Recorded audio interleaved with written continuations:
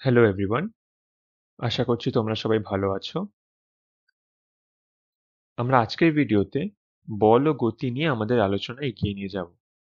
এটি এই চ্যাপ্টারের দ্বিতীয় ভিডিও। আমরা আগের ভিডিওতে যে বিষয়গুলি দেখেছিলাম, সেগুলি হলো স্থিতি ও গতি, যেখানে আমরা দেখেছিলাম যে সময়ের সাথে কোনো কিছুর অবস্থান পরিবর্তন হলে তাহলে তাকে গতিশীল বলি এবং না হলে তাকে স্থির বলি। তারপর আমরা দেখেছিলাম বিভিন্ন প্রকারের গতি, যেমন সরল গতি, ঘূর্ণন গতি, চলন গতি ইত্যাদি। তারপরে আমরা স্কেলার ও ভেক্টর কি তা দেখেছিলাম। যে সকল রাশিকে আমরা শুধু তার মানের দ্বারাই ব্যাখ্যা করতে পারি, তাদের আমরা স্কেলার বলি। আর যে সকল রাশিকে ব্যাখ্যা করতে গেলে তার মান ও দিক দুই বলে দিতে হয়, তাকে ভেক্টর বলি। তারপরে আমরা দেখেছিলাম দূরত্ব ও স্মরণের মধ্যে পার্থক্য। দূরত্ব একটি স্কেলার রাশি যাকে আমরা ইংলিশে বলি ডিস্টেন্স এবং স্মরণ একটি ভেক্টর রাশি যাকে আমরা ইংলিশে বলি ডিসপ্লেসমেন্ট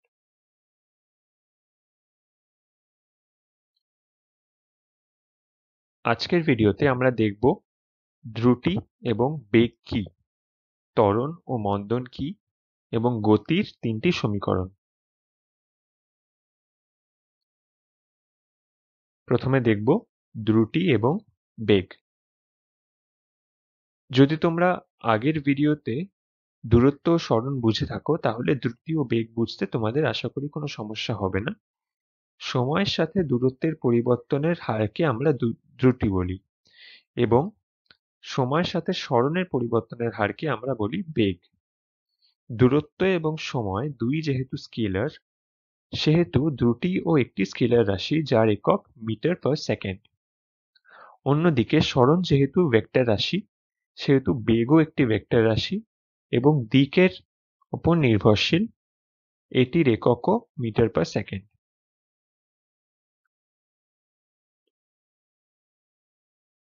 আগের ভিডিওতে দূরত্ব স্মরণ বোঝানোর সময় আমরা বলেছিলাম যে এই আঁকাবাঁকা পথ ধরে যদি আমরা স্কুল থেকে বাড়ি যাই, তাহলে দূরত্ব হচ্ছে পাঁচ কিলোমিটার। এই পথ অতিক্রম করতে যদি আমাদের তিরিশ মিনিট লেগে থাকে, তাহলে গড় দ্রুতি সমান সমান পাঁচ হাজার বাই তিরিশ ইন্টু ষাট, যার মান দুই দশমিক সাত আট মিটার পার সেকেন্ড। এখানে আমরা দ্রুতি না বলে গড় দ্রুতি বলছি, কারণ সারা পথ আমরা কিন্তু একই দ্রুতিতে অতিক্রম করিনি বা সুষম গতিতে অতিক্রম করিনি। আমাদের তাৎক্ষণিক গতি আলাদা আলাদা সময় আলাদা আলাদা ছিল, তাই পুরো পথের দ্রুতির ক্ষেত্রে আমরা গড় দ্রুতি কথাটি প্রয়োগ করি। সরল বোঝানোর সময় আমরা দেখেছিলাম যে একটি সরল রেখা সাহায্যে আমাদের স্কুল এবং বাড়ি জুড়ে দিলে সেই সরল রেখার দৈর্ঘ্য হবে আমাদের সরণের মান, যা এই ক্ষেত্রে তিন কিলোমিটার। তাহলে গড় বেগ হবে তিন কিলোমিটার বাই তিরিশ মিনিট, যা হলো এক দশমিক ছয় সাত মিটার পার সেকেন্ড। এখানেও আমরা গড় বেগ কথাটি প্রয়োগ করছি কারণ সারা পথে আমাদের বেগের মান ও দিক দুই পরিবর্তন হয়েছে। এখানে যদি আমরা সুষম দ্রুতিতেও স্কুলে পৌঁছতাম, তাহলেও আমাদের বেগ কিন্তু সারা পথে সমান হতো না, কারণ আমাদের দিক পরিবর্তন হয়েছে। এবারে পথটি যদি আঁকাবাঁকা না হয়ে সোজা হতো, তাহলে আমাদের গড় দ্রুতির মান ও বেগের মান সমান বলতে পারতাম। আর সারা পথ যদি আমরা একই দ্রুতিতে অতিক্রম করতাম, তাহলে আমাদের তাৎক্ষণিক দ্রুতি সমান হতো পথের গড় দ্রুতির সাথে। এরপর আমরা দেখব ত্বরণ ও মন্দন কি। সময়ের সাথে বেগের মান বাড়লে তাকে ত্বরণ এবং কমলে তাকে মন্দন বলে। এখানে মনে রাখা দরকার যে বেগের পরিবর্তন কিন্তু দিক এবং মান দুভাবেই হতে পারে। তাই এই বৃত্ত বরাবর যদি একটি বস্তু সুষম দ্রুতিতেও চলে, তাহলেও প্রতি মুহূর্তে যেহেতু তার দিক পরিবর্তন হচ্ছে, সেহেতু প্রতি মুহূর্তে সেটিতে ত্বরণ হচ্ছে। এবারে যদি আমরা সমত্বরণের কথাই ভাবি, তাহলে আমরা লিখতে পারি ত্বরণ সমান সমান শেষ বেগ মাইনাস আদি বেগ ডিভাইডেড বাই অতিক্রান্ত সময় টি তাহলে বস্তুর আদি বেগ জানা থাকলে টি সময় পর তার শেষ বেগ হবে ইউ প্লাস এটি সমতরণ না হলে আমাদের শেষ গতি বের করার জন্য ক্যালকুলাসের প্রয়োগ করতে হতো, যা তোমরা আরও উঁচু ক্লাসে শিখবে। আমাদের চারিপাশে সমতরণের একটি চমকপ্রদ উদাহরণ হলো মাধ্যাকর্ষণ জনিত ত্বরণ জি যার মান nine point eight one metre per second square একটি বস্তুকে যদি ছেড়ে দাও, তাহলে সেটির বেগ নাইন পয়েন্ট এইট ওয়ান টি হিসেবে নিচে পৃথিবীর দিকে বাড়তে থাকবে। এবারে একটি উদাহরণ দেখব। ভিডিওটি পজ করে তোমরা নিজেরা এটি করার চেষ্টা করো। গ্রাফে ও থেকে এ এ থেকে বি বি থেকে সি এবং এরমভাবে বাকি সব অংশে ত্বরণ বা মন্দনের মান নির্ণয় করো।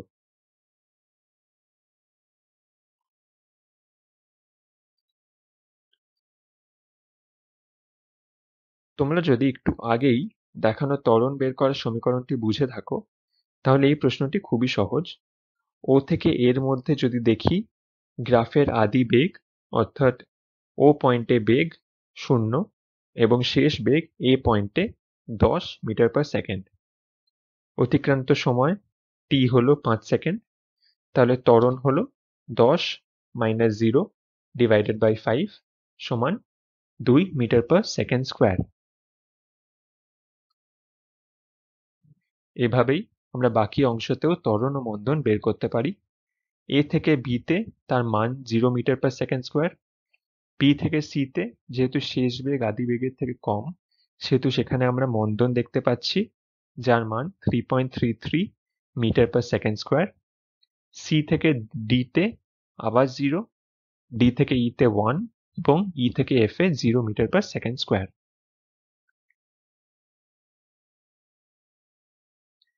এবারে আমরা পড়ব গতির কয়েকটি সমীকরণ যা পদার্থবিদ্যায় খুবই গুরুত্বপূর্ণ। আমরা আগের প্রশ্নে যেই সমীকরণটি ব্যবহার করেছিলাম, সেটি রৈখিক সমতরণ গতির জন্য। এরপর আমরা যা যা সমীকরণ লিখব, তা সবই রৈখিক গতির জন্যই হবে, অর্থাৎ আমাদের রাশিগুলির মান নিয়ে ভাবলেই হবে, তার দিক তার দিক পরিবর্তন হচ্ছে না, ঠিক আছে? এবারে ত্বরণ যদি শূন্য হয়, তাহলে বেগ সমান থাকবে এবং তখন আমরা টি সময়ে অতিক্রান্ত দূরত্ব মানে এস কে লিখতে পারি দ্রুতি ইন্টু অতিক্রান্ত সময় অর্থাৎ এস ইকুয়ালস টু ভিটি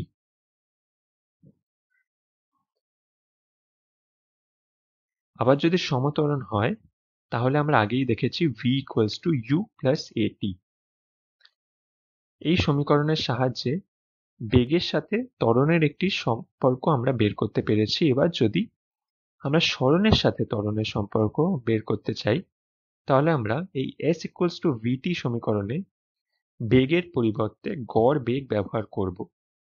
যেহেতু সমতরণ ধরে নিয়েছি, তাই গড় বেগ হল U plus V by two V কে উপরের সমীকরণের সাহায্যে লিখতে পারি ইউ প্লাস এটি তাহলে গড় বেগ দাঁড়াচ্ছে ইউ প্লাস হাফ অফ এটি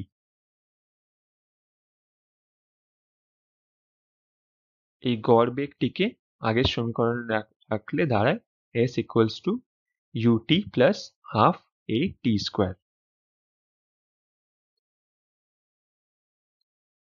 এবারে যদি আমরা টি ছাড়া সমীকরণটি লিখতে চাই, তাহলে এই সমীকরণটি আমরা প্রথমে স্কোয়ার করব। এবারে এই U T plus half A T square অংশটিকে আমরা লিখতে পারি এস তাহলে আমাদের সমীকরণটি দাঁড়াচ্ছে V square is equals to U square plus two A S এই তিনটি সমীকরণের সাহায্যে বল ও গতির অনেক সমস্যাই আমরা সমাধান করতে পারি।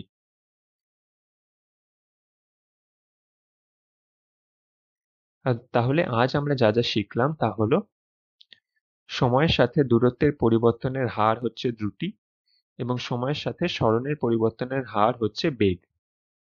সময়ের সাথে বেগের মান বাড়লে তাকে আমরা ত্বরণ বলি এবং কমলে তাকে মন্দন বলি। গতির সমকরণ তিন, সমীকরণ তিনটি হলো v equals to u plus at s equals to ut plus half A T square এবং V square is equals to U square plus two A S শেষ করার আগে আমরা আগের ভিডিওর মতোই ইংলিশ ভাষায় দুটি শব্দ শিখে নেব। প্রথম শব্দটি হলো ডিলাইটফুল যার অর্থ আনন্দদায়ক। ইংলিশ বাক্যে এটির উদাহরণ হলো he is a delightful person যার অর্থ হলো, সে একজন আনন্দদায়ক ব্যক্তি। এবং দ্বিতীয় উদাহরণটি হল নাইভ অর্থাৎ সরল ও নিষ্পাপ। এটির ইংলিশ বাক্যে উদাহরণ হলো don't be so naive or people will take advantage of you যার অর্থ হচ্ছে, এত নির্বোধ হবেন না। না হলে লোকেরা আপনার সুবিধা নেবে। আশা করছি ভিডিওতে আলোচ্য বিষয়গুলি বুঝতে পেরেছ। আজকের ভিডিওটি এখানেই শেষ করছি। এই কোভিডের মরশুমে মনে রাখবে যে প্রয়োজন ছাড়া কখনোই যেন তোমরা বাড়ি থেকে না বেরো, আর বেরোলেও যেন সারাক্ষণ মাস্ক পরে থেকো। তাই stay home and stay safe ধন্যবাদ।